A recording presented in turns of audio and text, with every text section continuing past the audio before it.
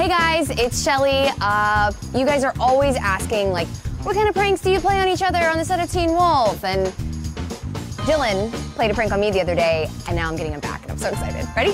Okay. Dill? Come out.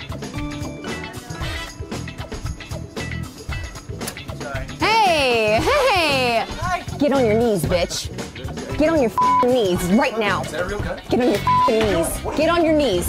Is this from Spring Breakers? Remember that? Remember that prank you did the other day? You switched my shoes with the stunt double shoes. Yeah, yeah. F- you for that.